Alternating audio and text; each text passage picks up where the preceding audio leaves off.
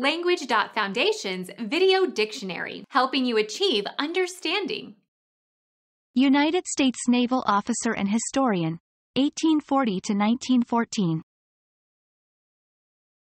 Alfred Thayer Mahan,